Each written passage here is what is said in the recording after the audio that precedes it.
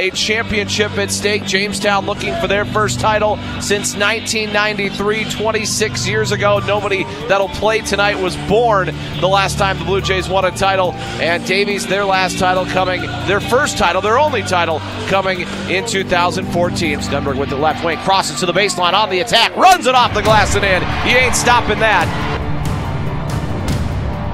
Lunsman goes into Mason, spins into the lane, cross the left, finishes the left hand, and Mason scores again. Foul line, skips it across right. Kallenbach on the attack. Floater, teardrop, yes! Kallenbach with his second basket.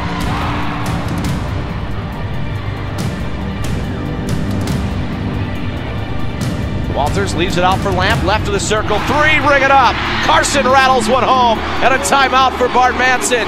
And how about this? It's 29 to 10. Skunberg with it in the corner, spins into the paint, down the right side, fall away, goes glass for two.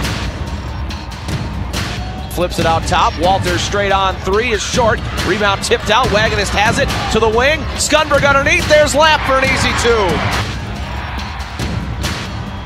Skunberg over on the wing left side. They go to choose high low. That ball tipped. Mason grabs it anyway. Has it stripped out of his hands. It's saved right back to Walters and he scores. Now to the corner for Kallenbach. Inside for Walters. Spins baseline. Shot fake. Hits the man in the air and finishes. The big fella going to work. Off the screen, Skunberg to the alley, left side finish, count it, and one with 2.36 to go.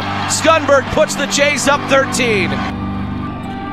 Skunberg, left side of the alley, puts up a runner. Big shot, good again, and another and one from Boden Skunberg, left side runner, and Jamestown leads by 14.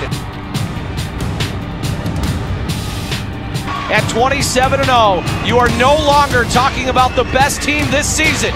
You are talking about one of the greatest teams in the history of Class A basketball. The, the shot clock went dark.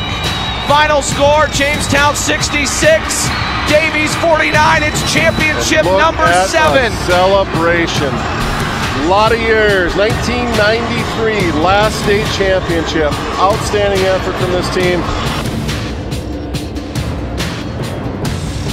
The Jays are the champions of Class A.